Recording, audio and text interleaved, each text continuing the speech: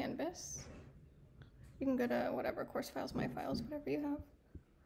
Uh, and you're just going to choose upload file right here. And then, do I have anything I can upload? Just pick a file, choose.